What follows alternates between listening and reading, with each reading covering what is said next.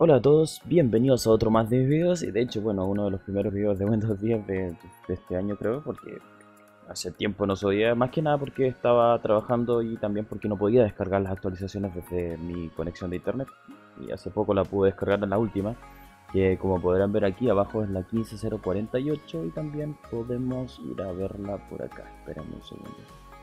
Lo que sí está algo lento en sí, eh, la interfaz puede ser de mi computador, seguramente, o pues no sé.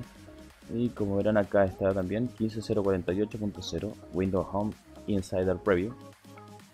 Y de lo poco que la he estado revisando, viene con algunos pequeños eh, cambios que son de los que he notado porque en realidad en la página o en el blog de donde informan todo no, no sale nada. Lo primero lo encontramos, disculpen, lo primero lo encontramos acá. Como podrán ver hay algo adicional y es este de acá. De hecho se nota porque este debería estar acá y uno de estos debería estar acá, por lo tanto es una sola línea. Pero ahora hay algo adicional que en este caso es esto y también como podrán ver también han cambiado algunos iconos en el caso de este y otras cosas más. Bueno, ya vamos a partir por configuración en este caso. Y como verán, lo primero que tenemos aquí es que tenemos una pestaña eh, o un acceso directo a las aplicaciones donde creo que se pueden desinstalar, es como hacer esto eh, acá y pues ya lo que saben, lo usual, digo usual. Pero está todo muy lento, mi computador. Ya, bueno. Es lo mismo que se puede hacer ahí. Eh, como verán, por ejemplo, ya si yo quiero desinstalar torrent, voy acá y le doy desinstalar. Y aquí entregan em, como información de torrent, de esto supongo el día que lo instalé, no creo que así, o modificación, no sé. Eh, y tenemos todo lo demás, tenemos cuánto pesan, eh, qué programas tengo instalado, son bastantes. Y así sucesivamente. También, que lo que podemos ver, eh, esto, a ver, dice... Bueno, eso. Soy malo en inglés, ya saben. O sea, algunas palabras nomás, como hola, ¿qué tal? Bueno, ni en eso en realidad, pero bueno, no importa. Aplicaciones predeterminadas se pueden ver ahora directamente aquí, aunque no sé si se podrán seguir viendo donde era antes, que era... No. Definitivamente no. Ahora las aplicaciones predeterminadas se ven acá. Mapas sin conexión también va a estar en una sola parte. también aplicaciones para los sitios web también están aquí. Pero otra vez se pegó esto.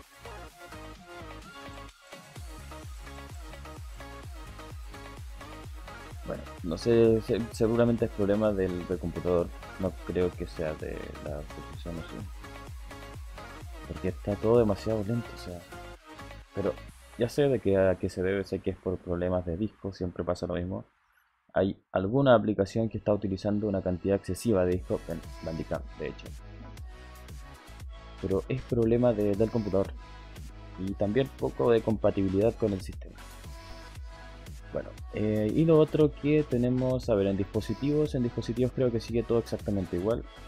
No hay nada eh, que ver en realidad.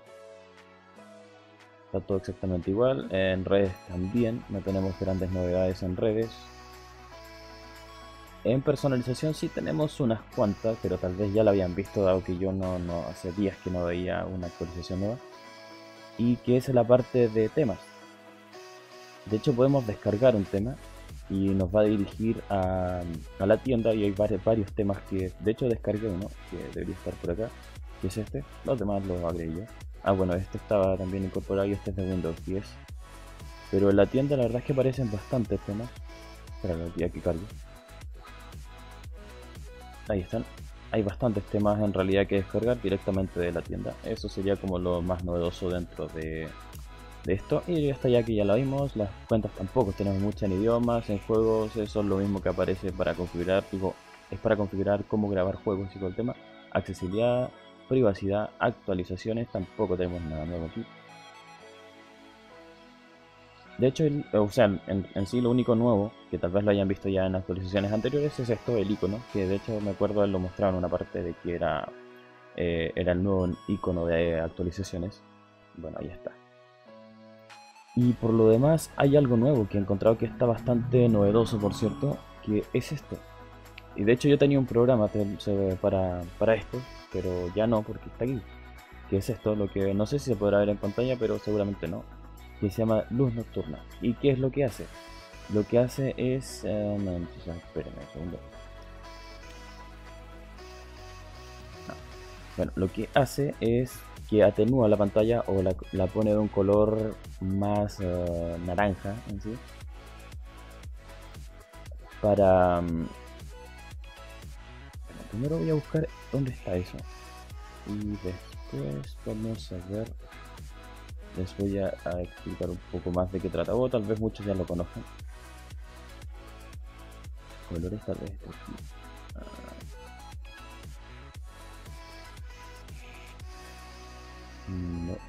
Bueno, el punto es ese. El punto es que se coloca de un color un poco más naranja. lo puede uno mover y lo puede dejar completamente naranja, lo cual no es recomendable. O lo puede dejar completamente blanco o azul, que en realidad las pantallas estas, lo que pasa a estas pantallas de los portátiles es que tienen un color, una pantalla azul. Y durante la noche eh, provoca que uno se desvele, si digamos estar muy tarde, te puedes desvelar porque no sé por qué pasa pero pasa. Entonces esto lo que hace que la vista, o más, más que nada uno, o el cerebro, se relaje más durante la noche y uno pueda estar más tranquilo y aparte afecta menos a la... no cansa tanto la vista cuando está frente al PC. No si me explico bien, seguramente no, pero bueno. El punto es ese. El punto es que ahora viene esa, esa parte de la luz nocturna, o ¿qué dice luz nocturna? La luz nocturna, y mejora todo el, tema de la pantalla cuando uno lo está viendo durante la noche. Y básicamente eso es todo lo que he estado observando de nuevo en esta... Ah, cierto, también tiene otra interfaz el tema de la del antivirus de, Windows. Como pueden ver tiene una nueva interfaz, ahora no lo tengo activado porque tengo otro programa que es el Smart Security 9 en este caso. Así que no, no quiero activarlo en realidad porque tener dos antivirus como se contradice, pero el tema es ese, que también tiene una nueva interfaz el antivirus de Windows o el fireware, en realidad pero lo han modernizado. Eso sería como todo lo más novedoso dentro de esta nueva actualización y la he estado probando poco porque en realidad la instalé ayer, de que ya soy, bueno, no importa. La instalé ayer, así que la he estado probando poco, pero de, dentro de eso me acabo de llevar una sorpresa ahora de que está utilizando muchos recursos de disco. Y entonces todo esto me está copando la información y espero que este, este video no salga mal. Porque si se ocupa, delante estaba 100% y la, lo más que lo estaba ocupando era el grabador de capturador de pantalla, que en este caso es Handicam. Pero lo demás también está bastante, la CPU, de hecho tengo una CPU bastante... Ah, ya se subió, ya se subió. En este caso es el, el anti... Bueno, pero en tema de, rendimiento por, por ahora creo que va relativamente bien. El anterior, la anterior eh, actualización que tenía eh, iba como más o menos en realidad siempre tenía problemas de disco, pero en tema de, rendimiento de juegos la verdad es que bastante bien. Actualmente tengo este juego, sé que es antiguo pero me gusta. Y esto estoy probando con ese y anoche de hecho lo jugué así que está bien. Por ahora. Así que en cuanto a rendimiento la verdad es que está súper bien el sistema. Eh, con respecto a las novedades, pues ya vieron que tiene bastantes novedades y problemas igual, hay algunos problemas por aquí y por allá, pero esos todavía no los he encontrado afortunadamente. Pero lo que más me ha gustado y me ha sorprendido es esto, de la luz nocturna, que me ayuda en realidad bastante porque a veces juego, estoy hasta tarde de la noche en el PC y en la noche me gusta tener atenuar la pantalla y ahora que está incorporado en, en Windows es mucho mejor. Así que bueno, espero que les haya gustado este video y que les haya sido de información y disculpen por haber subido tanto, o sea que les haya informado digo, y disculpen por haber subido tan tarde una actualización de Windows, es que en realidad no, había tenido tiempo, tampoco lo había podido descargar, así que todo eso me retrasó mucho en realidad.